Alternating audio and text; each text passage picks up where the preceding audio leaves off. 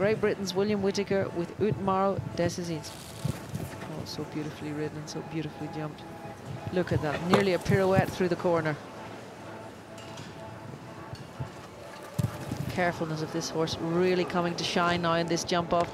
Come on, William. Gets a long one. It's a very long one. Come on. Beautifully balanced.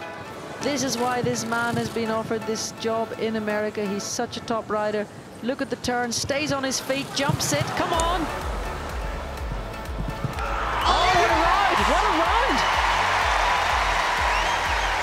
Oh, and they love it here in Olympia. The crowd's going wild. And William, he knows. William Whitaker, Utamaro d'Ecaussines clear. 37.02. And now we've moved on to Karel Cox for Belgium with Evert. Also a fast pair. So, if he can gallop home now, he's right up there. Oh, he got a pull one stride more than he wanted here. He's right up there. He's right up there. It's very close. I would dare to say he's faster. He's faster. He's got it. Oh, yes, look at that. No, slower. Oh, what a competition.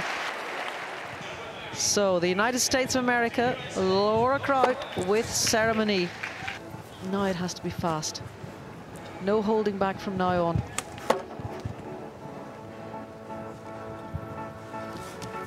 And like others before, she has to pull out something very special here. It's very close, but I don't think it's enough. It's very close. She's nearly there. I think she's going to nearly. Oh, no, no, no. William Whitaker is our winner. What a sensational result.